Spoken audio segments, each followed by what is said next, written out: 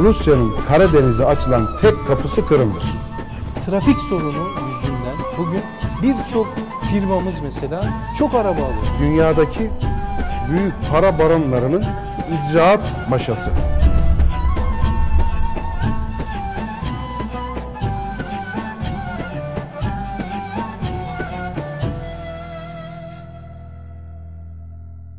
Euzu billahi mineşşeytanirracim. Bismillahirrahmanirrahim. Elhamdülillahi rabbil alamin. Ves salatu vesselamu ala rasulina Muhammed ve ala alihi ve sahbihi ecmaîn. Sevgili izleyicilerimiz, öncelikle bu yeni TV kanalımız tüm İslam alemine ve tüm insanlığa hayırlı ve mübarek olmasını Yüce Rabbimizden niyaz ediyoruz. Bizler de sizler için gündem ve ekonomi programını sunmaya çalışacağız inşallah. Bu programı sevgili dostum sanayici Ahmet Özkan Efendi ile beraber sunacağız inşallah. Kendilerine hoş geldiniz, sefalar getirdiniz diyorum. Hoş bulduk. Ee, Allah razı olsun. Bu kanal inşallah amacına ulaşır. Allah da muvaffakiyetler nasip eder inşallah. İnşallah. Teşekkür ediyoruz. Güzel. Ben hiç vakit kaybetmeden hemen programımıza girelim istiyorum. Malumunuz bundan 30-40 yıl hatta 50 yıl önceye döner isek savaşlar topla, tüfekle, tankla yapılırdı. Hatta bizim çocukluğumuzda çok iyi hatırlıyorum füzelerle yapılırdı. İşte iki ülke arasında çıkan bir çatışmada o ülke füze gönderirdi, diğer ülke de onu düşürmeye çalışırdı. Ancak günümüz dünyasında şu anda savaşlar şekli ve dengeleri tamamen değişti. Şu an soğuk savaş dediğimiz yani ekonomik savaşlar gündemde. En son yaşanan Rusya-Ukrayna savaşı, Rusya'nın Kırım'ı ele geçirme çabası ve istekleri. Malumunuz orada müthiş enerji kaynakları var ve bu şekilde bir girişim yaptı. E bu girişime Avrupa Birliği'nin vermiş olduğu tepkiler, Akabinde Amerika Birleşik Devletleri'nin son günlerde Rusya'ya yaptırım yapması.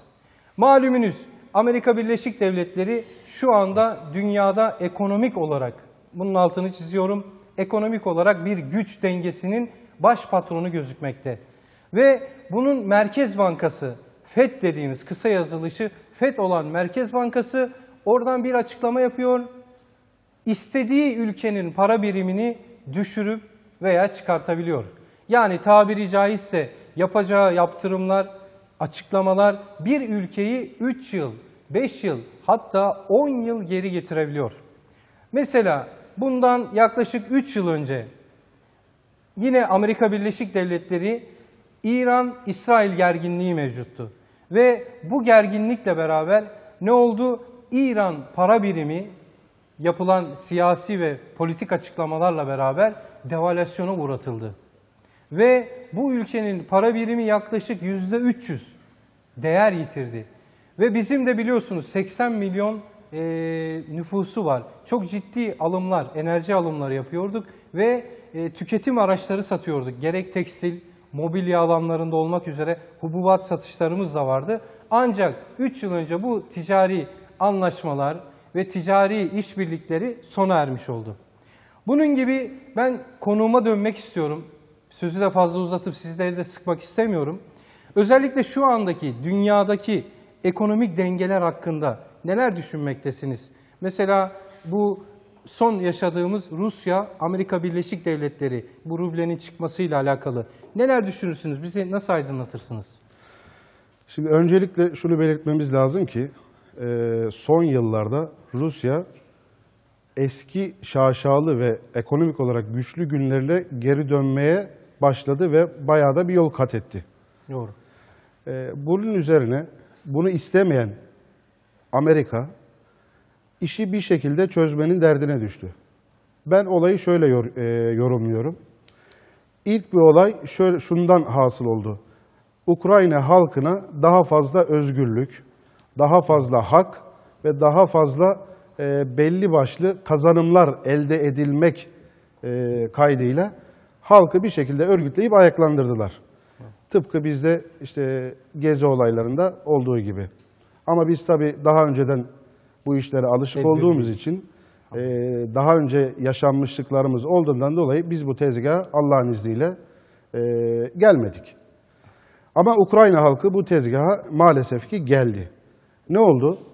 Şöyle kısaca bir hatırlayalım isterseniz. Ukrayna'ya Ukrayna'da e, halk, öğrenci ve halk örgütlendi. E, bu örgütlenme neticesinde ha- olaylar öyle bir hal aldı ki artık e, vurmalar, öldürmeler, ölümler olmaya başladı. Birçok da ölüm oldu zannediyorum. Birçok da ölüm oldu dediğiniz gibi. Şimdi e, peki bunun bir maddi getirisi olmalı. Bu sadece halkın kendi öz benliği ve öz kaynağıyla yapabileceği bir durum değil. Değil.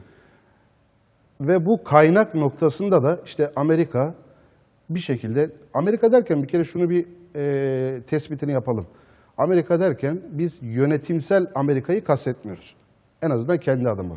Bunu kastetmiyorum. Neyi kastediyoruz? Geçmiş yıllarda olduğu gibi bizde de hani ne meşhur bir ifadeydi, derin devlet. Evet. Bu aynısı belki başka adla anılıyor ama aynısı Amerika'da da var. Nedir o başka ad? İşte çok moda tabirle neokonlar. Evet. Ne oldu burada? Ee, George Soros. Bu nedir bu adam? Kimdir bu adam? Bu adam belli Türk dünyadaki büyük para baronlarının e, icraat maşası. Bu adamı gönderirler. O hangi ülkede karışıklık, hangi ülkede ne yapmak istedikleri varsa bu adam ilk baştan gider, bütün hazırlıklarını yapar ve ondan sonra olayı icraate döker. Ukrayna'da da aynı bunun aynısını gördük. Ne oldu? Ukrayna halkı ayaklandırdılar. AB, Amerika ve AB ülkeleri e, bu ayaklanmayı desteklediler. Ve bu arada aslında e, Ukrayna'da seçilmiş bir cumhurbaşkanı vardı. Kimdi o? Yanukovych. Evet. Evet. Ve olaylar öyle bir hal aldı ki seçilmiş cumhurbaşkanı ülkeyi terk etmek zorunda kaldı. Bavullarını toplayıp kaçmak Burada e, Rusya'da bu olayın bu e, raddeye geleceğini öngörüsüyle ve geçmiş tecrübesiyle bildiği için o da karşı hamleyle e, Ukrayna'nın doğusunu yani Donetsk dediğimiz bölgeyi e, o da kendi milislerince gayri milislerle ama yani resmi askerlerle değil tabii ki bir şekilde sübvanse etmeye çalıştı karşı güç olarak. Ve nihayetinde netice olaylar öyle bir hal aldı ki e, Rusya Kırım'a gir- girdi, resmi askeriyle girdi ve Kırım'ı kuşattı. Kırım'ı kendi toprakları ilan etti. Zaten e, Kırım, Kırım parlamentosu da Rusya'ya bağlanma, ilk önce tabii ki özellik e, kararı aldılar. Daha sonra da Rusya'ya bağlanma şeyini, yetkisini meclisten aldılar ve kabul ettiler. Olay bu şekilde başlamış oldu. Evet. Bir araya girebilir miyim? Çok Buyurun. kısa. Ee, yaklaşık 3 yıldır yine Putin'in önderliğinde bir Avrasya Birliği oluşturulmaya çalışıyor. Evet. Özellikle Türkiye'ye de teklif yaptığı ve ısrarla gel bize katıl dediği konuşulmakta sıkça. Buna ilk imza atan ülkelerden biri de Kazakistan, bildiğim kadarıyla Kırgızistan. Türkiye Burada- Cumhuriyetler. Türkiye Cumhuriyetler. Yani burada bir güç birliği oluşturulmak. Bunların başında Çin ve Rusya Evet. çekmek Evet. kaydıyla Evet. İran peşlerinden geliyor. Bizi Evet. de işte e, bu oluşuma dahil olur musunuz Evet. şeklinde tabii ki oldu. Olmadı Teklifler değil. oldu. Ben şimdi kısaca özetle e, şu Evet. Ukrayna meselesinde anlattığım Evet. özet hali bu. Peki bu niye oldu? Yani bu niye oldu? Yani durup dururken Acaba Ukrayna niye kar- Bu karıştı? Avrasya Birliği'ne Ukrayna'dan da bir İşte oraya katılım- geleceğim. değil mi? Oraya Buyurun, geleceğim. buyurun. Bu niye e, oldu sorusunun cevabı şahsımca şöyle yorumluyorum ben bunu. Enerji, dünyada enerji Orta Doğu'da çıkıyor. Rus, yani çoğunluk Orta Doğu'da ve Rusya'da. Ve bunun geçiş güzergahı Türkiye. Evet. Ne şekil yaparlarsa yapsınlar maliyet açısından Türkiye'den geçmeyen enerji hattı kendileri için artı bir külfet. Dolayısıyla Türkiye'den bu işin geçmesi lazım. Bir şekilde Türkiye bu işin bir yerinde olmalı. Evet. Ve buna istinaden de buna istinaden de Türkiye'nin etrafı sürekli karıştırılıyor. Sürekli karıştırılıyor. Ben bu olayı da Türkiye'ye bağlıyorum. Neden? Maalesef. Ee, Güney Yakın projesi biliyorsunuz Rusya'nın vardı. Evet. Ee, TANAP projesi var işte Azerbaycan'dan gelen. Evet. Bakü Ceyhan bo- boru hattı. Şimdi bu e, olaylar öyle bir hal aldı ki e, enerji etrafında insanlar yapabildiği her şeyi yapmanın derdine düştüler. Maalesef. Ama maalesef bazıları yaptığı planların tutmadığını ortaya çıktı. Örnek Ukrayna. Evet. Şimdi Ukrayna, Kırım, Kırım konusu Rusya için e, olmazsa olmazdır. Neden olmazsa olmaz? Çünkü Rusya'nın Karadeniz'e açılan tek kapısı Kırım'dır. Doğru. Başka Rusya'nın Karadeniz'e şeyi yok, kapısı yok. Şu anda evet. Bunu da bir şekilde böyle e, hallettiği için şu anda bu işten karlı Rusya çıktı. Ve gücüne biraz daha güç kattı. Kesinlikle. Biraz daha güç kattı. Özellikle bu Kırım'ın sözünüzü kesiyorum ama aklınıza sığınıyorum. Kırım'ın e, stratejik anlamda e, İstanbul'a bile ulaşım noktası olduğu söyleniyor. Tabii ki, tabii ki, Menzil olarak tabii ki. Rusya'nın bir adım daha hamle yapması. Ee, Rusya'nın e, Karadeniz'deki tek donanma gücü Evet, Kırım'da evet, mevcut. evet. Akdeniz'deki tek donanma gücü de bilin bakalım nerede mevcut? Neresi? Suriye'de. İşte bundan dolayı Rusya bu iki ülkeden, iki şeyden kesinlikle kendi varoluş sebebini dahi riske atabilecek şekilde vazgeçmeyecek. Evet. Hiçbir hiçbir şekilde vazgeçmeyecek.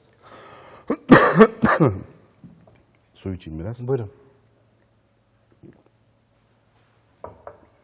Şimdi bu ekonomik dengeler dedik ya, konumuz başlığı bu ya.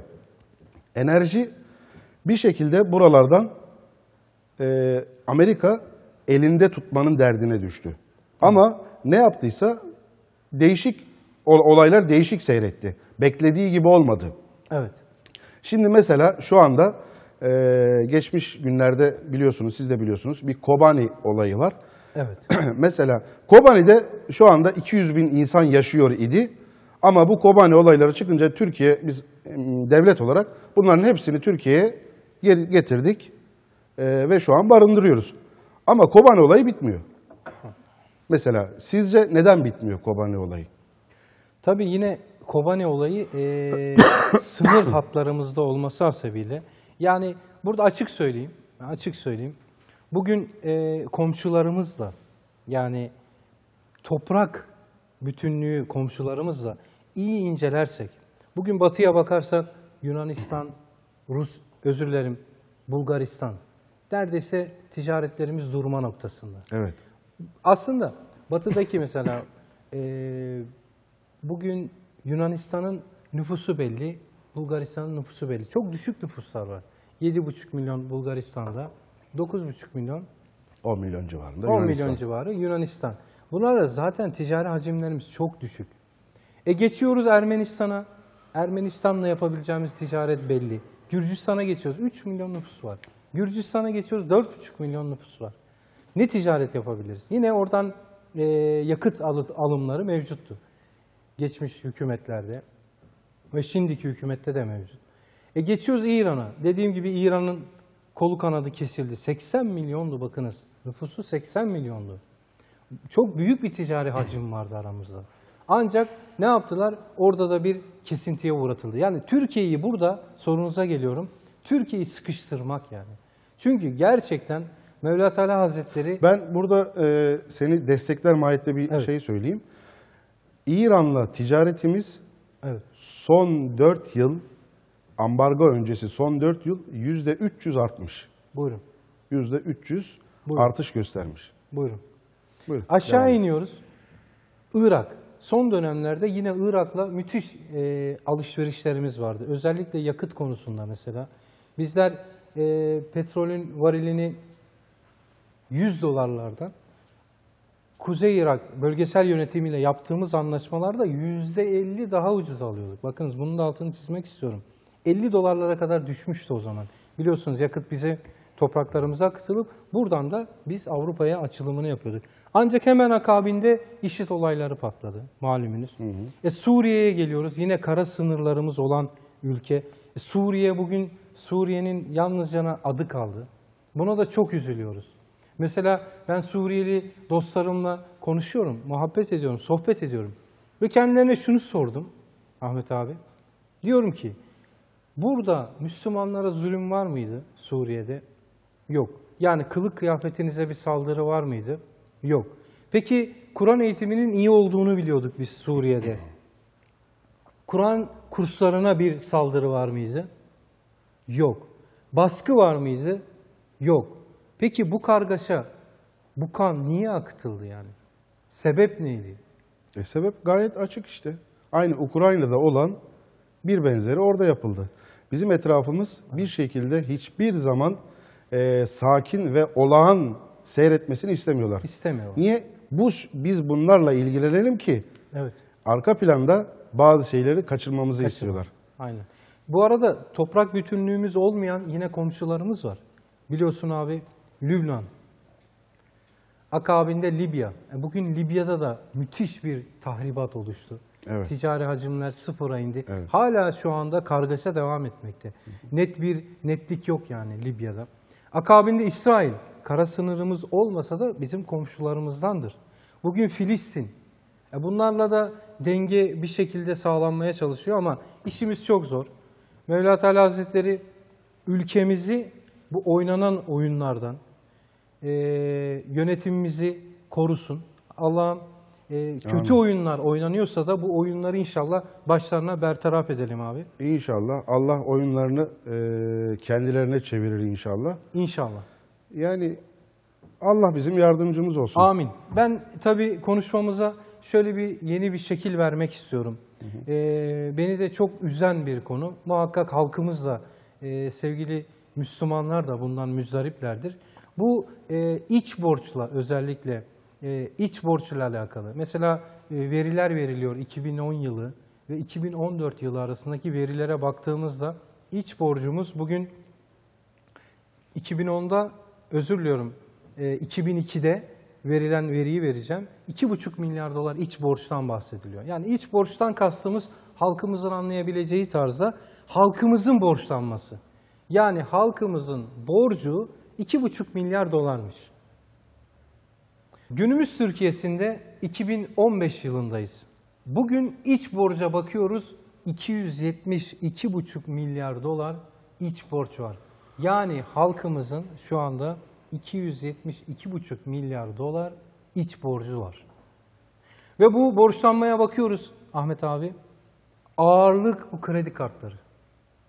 Şu an halkımız gırtlağına kadar tabiri caizse bankalara borçlanmış durumda. Yani bu konuyu Bunu- nasıl değerlendirirsin abi? Yani Bunu ne ben, yapmak lazım? e, şöyle sorayım sana istersen. Evet. Sence bu konu neden böyle? Çünkü bu konuda herhalde biz e, aynı düşünmüyoruz. Olabilir. Ben gördüğüm öncelikle halkımız bilinçli tüketime sahip değil. Mesela Bu olayın bir yüzü. en baştaki yüzü bana kalırsa abi. Şimdi bir tarafta e, 2000 yıllarının başında yani 2000 yılında 2,5 milyar dolar günümüz Türkiye'sinde 2015'teyiz 272,5 milyar dolar. Bir kere bu kredi kartı belası diyeceğim. Af buyurun beni bağışlayın. Yani hazırdan yeme. Olmayan parayı yeme demek bu. Evet. Bir aileye bakıyoruz bugün 5 tane, 6 tane, 10 tane kredi kartı. Ne yapıyor?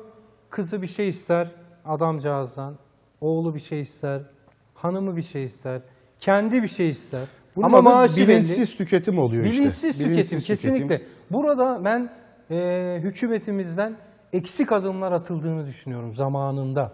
Mesela arkadaşlar bir biz bilinçli bir tüketim toplumu olamadık. O zaman sen buna hükümet olarak gerekli yaptırımları uygulaman lazım. Mesela adamın bugünün şartlarında 1800 lira bir geliri var. Sen buna 10 tane kredi kartı alma yetkisi vermemeliydin. En başta bu. İkincisi, ver bir tane ver. Ona da limit koy. Arkadaş, sen Mehmet olarak 1800 lira maaşın var. Senin aylık yapabileceğin harcama 600 TL. Bitti. Evet. Şimdi, bu olayın e, tabii Evet. ki bir yönü böyle. evet, Bir yönü. Diğer e, yönü şu. E, şöyle mesela söyleyeyim. Bir Evet. işletme düşünün ki sonuçta devletler de bir işletmedir. Bir Kesinlikle. işletme bir işletme düşünün ki e, yıllık cirosu ve işlem gören rakam farz edin ki 1 milyon TL. evet.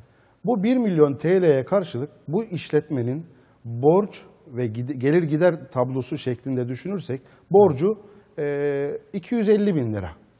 Evet. Bu nedir? İşte %25'ine tekabül eden bir riski var demektir. Evet. Doğrudur değil mi? Yüzde yüz. Yüzde yüz. Peki bu bir başka işletme düşünün. İşlem cirosu 100 milyon TL. Bunun borcu bu %25 oranlamasını yaparsanız Aha. 25 milyon TL yapar. Şimdi 25 milyon TL ile 2,5 milyon TL arasında çok ciddi fark var. Evet. Hemen şunu insanların aklına şöyle gelebilir. Eyvah herhalde batıyoruz. Yok, batmıyoruz aslında. Daha çok para geliyor, daha çok işlem yapıyoruz. Buna karşılık da daha çok borcumuz ve e, rakamlar yükseliyor. Rakam, mesela ne gibi? İşte 10 sene önce gayri safi milli hasılamız 250 milyar TL iken bugün 800 milyar TL'ye dayandı. Mesela bunun getirisi olarak da kişi başına gelir 3 bin dolar civarındayken bugün 11 bin dolar seviyelerine geldi. Yıllık. Bu rakam Evet. tamamen bu rakamı böyle almak almalıyız. Yani ülkenin borç stok e, rakamlarını bu yönden ele almalıyız ki ben bu yönde e, bir beis görmüyorum. En azından yani işlem yapıyoruz ki rakamlar yükseliyor. İşlem yapmazsak zaten rakam düşer. O zaman durum daha vahim. Ama ikinci söylediğin konuda seninle hemfikirim. Tabii ki Evet. bilinçsiz bir tüketim var. Bilinçsiz yani halkı halkı bilinçlendirmemişiz. Evet. Dediğiniz gibi adamın cebinden bir çıkartıyor böyle 20 tane kredi kartı. O bu o bu. Ya bizim bizde yok öyle kredi kartları. Biz Maalesef. güvenemiyoruz. Bizim çalıştırdığımız insanların Maalesef. cebinde Maalesef. işte şu kadar liralık e, teknolojik aletler, şu kadar liralık işte farklı şeyler, kredi kartları falan. Yani dediğiniz gibi orada ben size yüzde yüz katılıyorum. Toplum olarak bilinçsiz bir tüketim e, Maalesef. şey yapıyoruz. Ama son günlerde bir kanun çıktı. Evet. Tam e, yürürlüğe girdi mi tam haberim yok ondan şu anda da. E, lüks teknoloji tüketim mallarında devlet ekstra vergiler getirdi şu anda. Evet. Bu bir nebze etkiler. Tabii ki keser mi kesmez. Ama bu da bir Önlem. yoldur. Evet. Bir başlangıçtır. Bunun bir şekilde devamı Şimdi gelmelidir. açık konuşayım Ahmet abi. Ya benim şu noktadaki görüşüm biz bazı kararları alıyoruz. Yani devlet olarak, hükümet olarak bazı kararları alıyoruz. Ama açık söyleyeyim adım olarak geç kaldığımızı düşünüyorum. Hani Anadolu'da bir tabir vardır. Atı alan boru geçti Recep diye. kardeşim biz Yani 90 açık sene geç kaldık. 90 sene geç kaldık. Geç kaldığımız konusunda yani yüzde yüz hemfikiriz. Geç kaldık ama 10 sene değil 90 sene geç kaldık. Buradan katılıyorum abi. Buradan şuraya geçmek istiyorum. Mesela bu, bu borç nasıl oluşuyor abi? 272,5 milyar dolarlık borç nasıl oluşuyor? Şimdi biz üreten bir toplumuz. Tamam ürettiğimiz kısımlar var elhamdülillah. Özellikle baktığımız zaman bugün tarımda gerçekten... İhracatımızın büyük rakamsal yani oran Evet. şeyi üretimden kaynaklanıyor evet zaten. tarımımız şükürler olsun. Sonuçta bizde hani enerji yok, petrol yok, doğalgaz yok. Oraya geleceğim yok. abi. Bugün tarımda gerçekten e, üretimimiz iyi elhamdülillah. Özellikle Antalya'da 12 ay üretim var. Antalya ve bölgelerinde, Seralarla. Muğla vesaire. Evet. Anadolu'muz insanı çalışkan. Hububatını olsun, arpasını, her şeyini eken insan. Ancak ben şunu gördüm abi. Açık söylüyorum buradan da. Yine adımlar atılıyor ama çok geç atılıyor. Lafı nereye getireceğim? Sanayileşmeye. Mesela buradan 50 konteyner sebze gönderiyoruz abi. Gidiyoruz Almanya'dan bir tane makine getiriyoruz o paraya. Ya burada 50 Makineyi konteyner. çok dedin, makine değil bir tane çip. Bir tane çip getiriyoruz Aynen. aynı para. Aynen. Buradan atıyorum tekstil üretiyoruz değil mi abi? Tekstilde de bugün gerçekten eee, ülke ekonomisine büyük kat yapan firmalarımız var. Yine ihracat yapıyoruz mesela Avrupa ülkelerine, Doğu blok ülkelerine. İhracatımızı gerçekleştiriyoruz abi. Bir bakıyorsunuz onlarca konteyner mamül gidiyor. Oradan yine çok basit küçük kutuda bir şeyler alıyoruz. Teknolojik Aynı alet paraya. geliyor, aynı parayı Aynı veriyor. para. Evet. O maalesef. zaman burada bizim biraz hatamız var. Strateji hatamız olduğunu düşünüyorum. Ne yapmamız lazım? Buradan açık söyleyeyim. Hep bize anlatılırdı küçükken çocukluğumuzda da. Balıkesir'e 1920'li yıllarda bir uçak fabrikası yapmış o zamanki yönetim. Şu anda da hala mevcut. Ve burada uçak üreteceğiz. Yani o zamanki adıyla teyyare üretecektik. Ve üretim e, rakamlarda 3-5 yanılma olabilir ama takribi 19 bin dolara mal edecektik bir teyyareyi. Ama Amerika Birleşik Devletleri diyor ki o zaman ki ne gerek var üretiyorsunuz? Kaça üreteceksin? 19 bin dolara. Ben sana diyor 14 bin dolara vereyim. Hiç üretme. E bizim yönetimde ne yapıyor? O gün kabul ediyor o şartlarda. Bugün o uçak fabrikamız tavuk çiftliği durumunda. E günah değil mi abi? And olsun yemin olsun. Biz e, çok dünya ülkelerini gezmek nasip etti Mevla Teala. Ben şu görüşteyim. Ülke insanımızın çok zeki olduğunu düşünüyorum. ben. Kesinlikle. Çok kabiliyetli olduğunu düşünüyorum.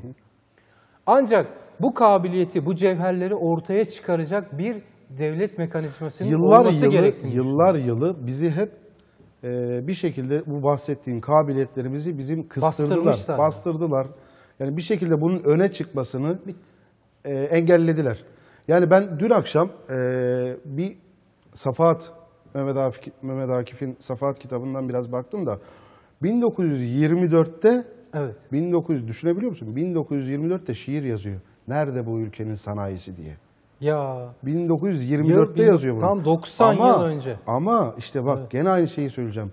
90 yıldır 90 yıldır bizi bir şekilde bağlamışlar, kitlemişler. Bastırmış. Bu da ne? Biz örtülü manda yönetimiyle yönetilmişiz. Adı konmamış ama evet. örtülü tamamen bu. Dediğin bahsettiğin örnek işte. Evet. Uçak yapma. Niye yapıyorsun ki ben sana vereyim? Bugün sana soruyorum abi. Sözünü kestim vallahi. Estağfurullah. O gün o teyyareyi yapsaydı bizim mühendislerimiz, bizim insanımız. Aradan 90 yıl geçmiş. Bugün neler yapıyorduk abi? Ben- Çünkü çünkü Efendimiz buyuruyor ki sallallahu aleyhi ve sellem Aleyhisselatü. meşgul olduğun şeye senin ilgin artar diyor. Efendimiz buyuruyor bunu sallallahu aleyhi ve sellem. Evet. O gün eğer o teyyareyle meşgul olsaydı bizim mühendislerimiz, bizim insanlarımız, bugün onu kat kat katlamıştık. Ama bugün bakıyorsunuz, arabamız dışarıdan. İtirazın varsa söyle abi. Yok yok yok. Maalesef. Tüm Hala makina- babayı tarıyoruz. Makina, teçhizat dışarıdan. Bırak onu bütün tekstil makineleri dışarıdan. Bütün dikiş makineleri dışarıdan. Bugün tarımcımızın bütün patos makinalarına kadar. Aklına ne geliyorsa en ufağından en büyüğüne. Bildiğim kadarıyla daha makkap motorumuz yok abi ya. Biz nelerden konuşuyoruz ya? Bizim acilen, acilen devlet yönetimi olarak Şimdi bunlara ön vermemiz lazım. burada bir Bunlara araya özür dilerim gireyim abi. istiyorsan. Biraz dertliyim ben bu konuda. Bir araya gireyim, Buyurun. senin derdini almak adına Evet. araya gireyim. Yok, şu anda e, gidişatımız bu bahsettiğimiz 90 yıllık gidişat şeklinde değil. O yolu İnşallah, değiştirdik. İnşallah. Elhamdülillah o yolu değiştirdik. Başka bir yola girdik biz. Nedir işte bu? mesela bu yol nedir? İşte o az önce dünyanın sayılı güçlerinin ilerlediği yol var ya, heh, Evet. o yoldayız şu anda biz. Mesela e, geçtiğimiz günlerde illaki bilgisine vakıfsınızdır. Evet. Türkiye çip üretti. Şükürler Bu olsun. çip dediğimiz nedir?